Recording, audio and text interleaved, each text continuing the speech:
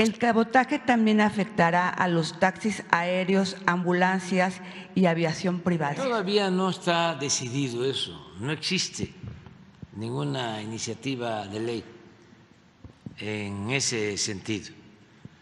Es que eh, los dueños de las líneas aéreas de México pues este, no quieren competencia.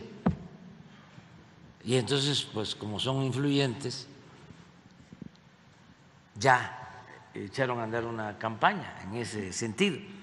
Pero estamos todavía eh, dando los primeros pasos. Eh,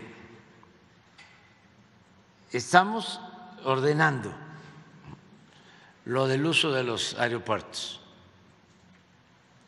porque como no se construyó el aeropuerto de Texcoco y habían saturado de manera deliberada el aeropuerto de la Ciudad de México, cerrando el aeropuerto de Toluca, pues quedó saturado el aeropuerto de la Ciudad de México. Eh, hacia el futuro,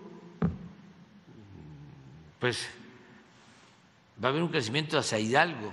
Ya hay empresas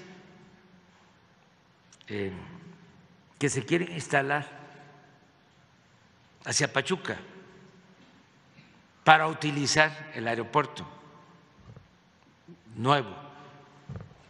Entonces, lo de liberar este, la llegada de vuelos extranjeros para que haya más competencia, lo estamos analizando. Antes de eso, se va a crear la nueva línea mexicana de aviación.